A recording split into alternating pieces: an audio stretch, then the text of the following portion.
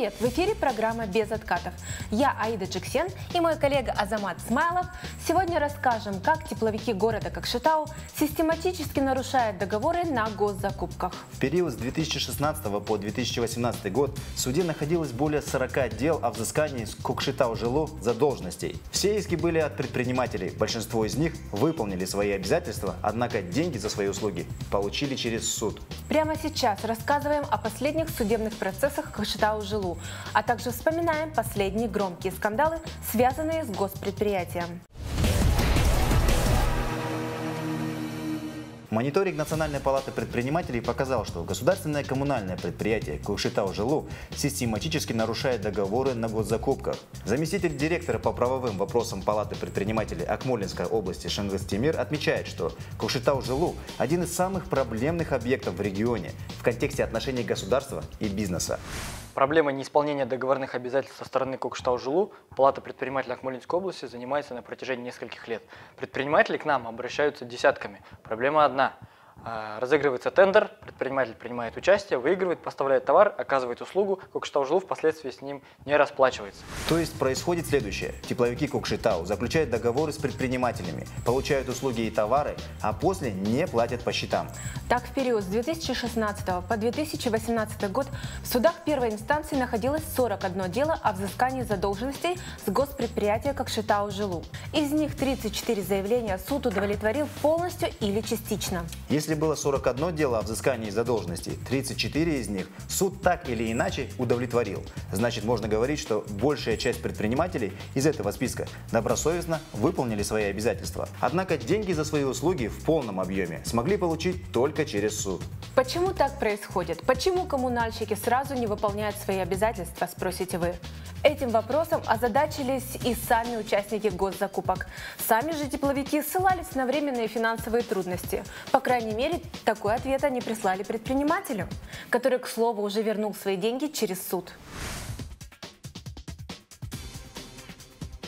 Кокшетау жилу не отказывается от принятых на себя обязательств в части оплаты по заключенному договору о государственных закупках товаров. Однако на сегодняшний день на предприятии сложилось крайне тяжелое финансовое положение. Единственной статьей дохода предприятия является сбор денежных средств за потребленную тепловую энергию. Однако денежные средства поступают крайне нестабильно, что не позволяет произвести погашение задолженности в кратчайшие сроки и в полном объеме.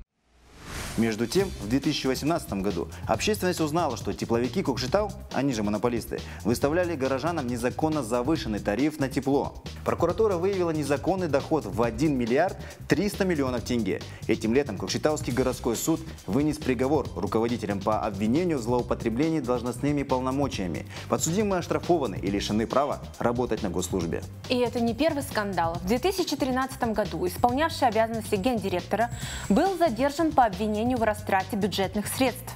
Тогда Финпол выдвинул версию, что тепловик распоряжался бюджетными деньгами, как ему вздумается. Например, руководитель списал двухмиллионную задолженность одной частной фирме взамен на дорогую мебель. Получается, что на протяжении 7 лет мы наблюдаем, как организация, первое, не справлялась качественно со своими обязанностями, если имело место быть завышение тарифов. Второе, была фигурантом громких скандалов. И третье, недобросовестно выполняет свои обязательства перед бизнесом.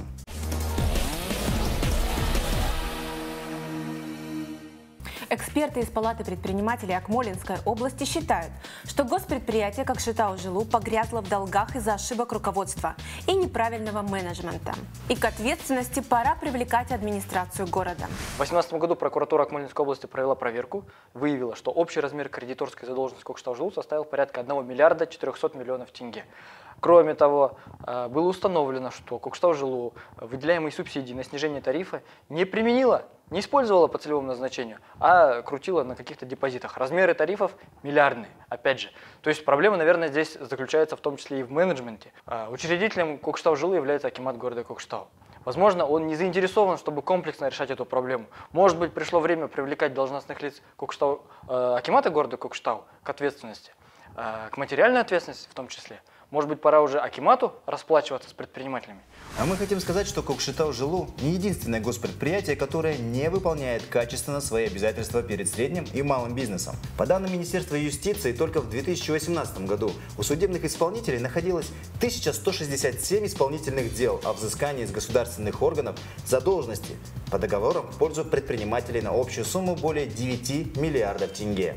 Также мы хотим отметить, что нарушая договоры, чиновники наносят ущерб не только бизнесменам, но и государству. Ведь невыполнение обязательств влечет за собой недопоступление налогов и других платежей в бюджет. Вот такие грустные пироги. Выводы делайте сами, а мы прощаемся. Подписывайтесь на канал Атамикен Бизнес в Ютубе, ищите выпуски без откатов, предлагайте свои темы для обсуждения. Пока!